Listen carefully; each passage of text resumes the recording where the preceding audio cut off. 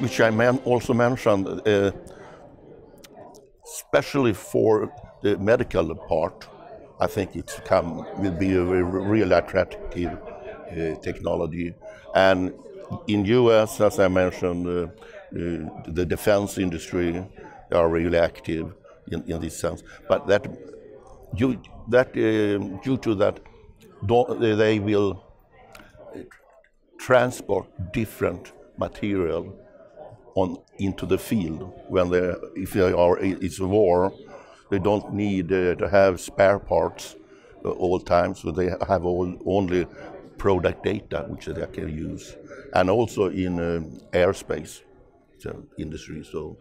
And um, what i can see today you are able to produce different medical things both in ceramics and also in different uh, metallic materials too. So, but I don't think we will be able to produce, let's say, a crankshaft or an engine block or a cylinder head or so. It, but it, when making prototypes for for the bigger industry, it's a really important uh, step to use additive manufacturing. Uh, it has increased in uh, Sweden just now and there are also special labs in Germany which working with the technology. But it's a couple of uh, issues which has to be discussed there. It's the material you're using for the powder. powder. Um, the design technology is also really important.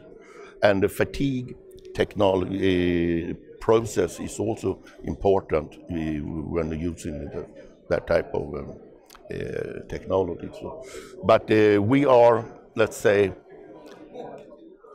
we have been developed in Europe uh, a lot of in, in, in this area.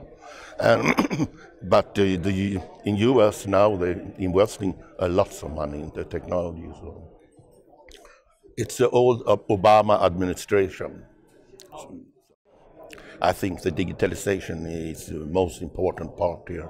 Uh, we are we, are, we have the knowledge about how to turning oper uh, uh, about turning oper operations, milling operations, uh, and drilling operations, but we had to apply different uh, digi digital tools to the, these processes. We, it's necessary to have the classical engineering part, but um, uh, but, but we had to apply a lot of uh, digital applications to